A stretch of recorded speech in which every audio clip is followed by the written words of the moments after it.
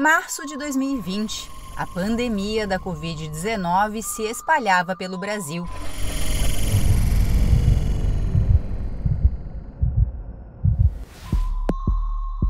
Em Santa Catarina, uma série de medidas eram tomadas para tentar evitar a circulação do novo coronavírus.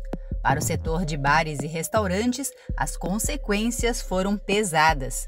Com restrições nos horários de funcionamento e com limite de lotação, muitos estabelecimentos viram a clientela minguar e as contas ficarem no vermelho.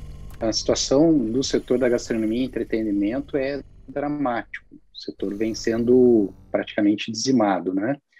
A última pesquisa que nós realizamos, de cada 10 uh, eh, restaurantes, três fecharam e dos sete que ainda operam, cinco estão endividados. Né?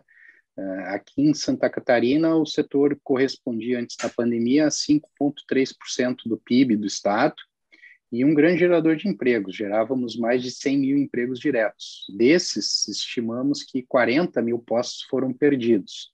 Então, vê que o impacto econômico e social também muito grande.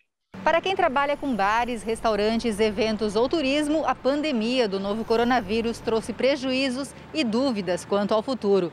Mas para outros setores, a situação difícil abriu caminho para otimismo e crescimento. Nós entramos 2021 é, com uma situação, apesar de difícil é, com relação à pandemia, mas uma situação econômica se mostrando extremamente favorável.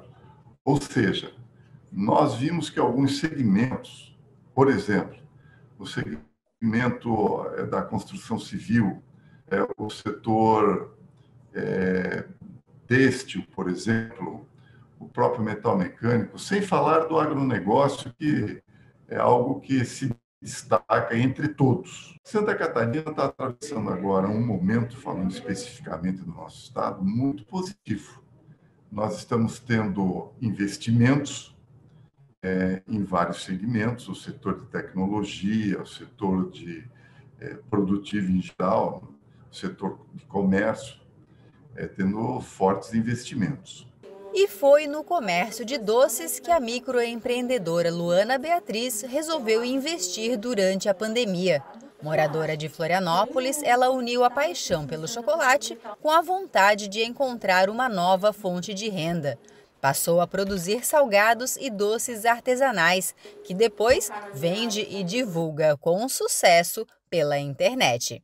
Eu consegui divulgar meu trabalho, consegui, é, como o pessoal estava muito nas redes sociais, né? Eu consegui divulgar, consegui ter clientes, então foi uma parte assim boa, não tanto mais boa assim na pandemia que eu consegui alavancar com meus doces, né?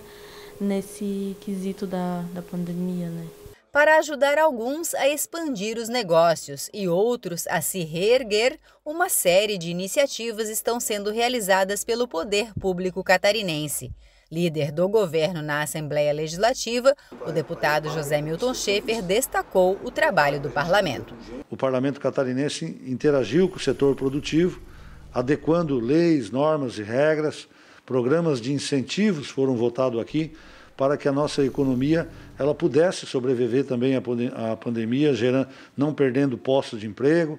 Prova disso é que Santa Catarina tem o menor índice de desemprego do país, e também é um dos estados que tem o menor taxa de letalidade da Covid, graças à eficiência da nossa política de combate ao Covid. E dentro desse interim se insere, obviamente, que o sistema público de saúde, mas também é, o parlamento, que procurou sempre agir com rapidez e com eficiência nestas demandas.